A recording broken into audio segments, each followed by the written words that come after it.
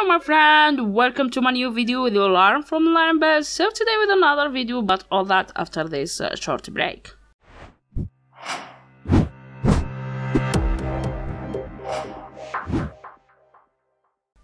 Hello again, before I start don't forget to subscribe to my channel, help me reach more and more subscriber. Let's start.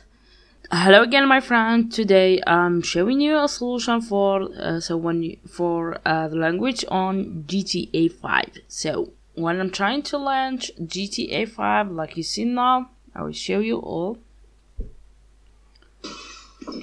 Okay, let's open this. And you can see now it's showing like in uh, Russian or any other language you have so let's see again. Like you see here is so I need to get it in English. Okay so let's just close this.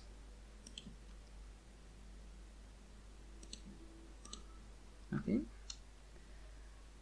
So what you have done now you go to the folder where, where is GTA 5 so I will show you if you have here the icon for GTA 5 so just right click and go to properties and after that you go to open file location. Click on it and you go to this location. So now what you do you just click right click here and create new.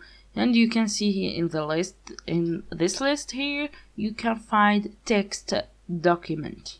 Document okay? Just click on this one. So first thing we do let's uh, name this uh, file. What we name it? Name it like this. Command command line. Okay? Command line. Like this. Okay just click enter and you see this folder. Now double click to open it or open it with any uh, open it with the uh, notepad. Okay? Now here you will write this line here just this line so I will show you and you will find this line in the description below so just uh, copy and paste okay? So um, here minus and write u a language. Sorry language. Space and write American American like this okay? After just just save this you go to file save. Close all this. Now let's launch again the GTA 5 let's see if we have changed it or not. Okay. Let's verify now.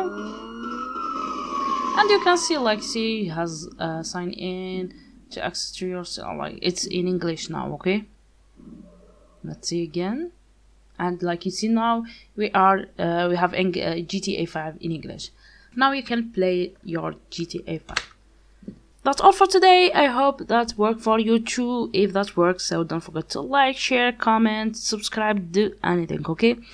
Thanks for watching my friends. See you next time